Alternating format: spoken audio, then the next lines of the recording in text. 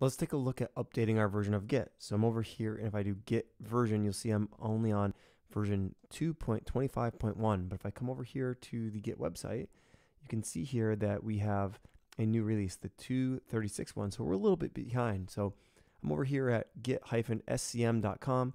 If I come down here and click on downloads, and then I'm on an Ubuntu computer, so I can go to Linux and Unix, click there. It has some instructions about installing newer versions of Git. So this PPA has the newer versions available. So what I want to do is I want to add this to my apt repository. So I'll come here and I'll do a apt repository add of this information. Need to run it as root. So I'll do control A to go to the front of the line and do a sudo.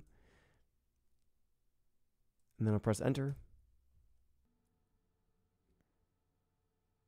And once that's been added, I can come up here and do a sudo apt update make sure I get the newest packages there.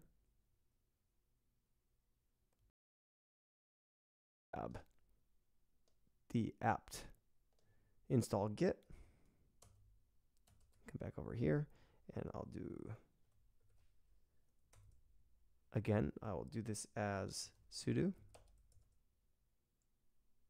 Press Y for yes.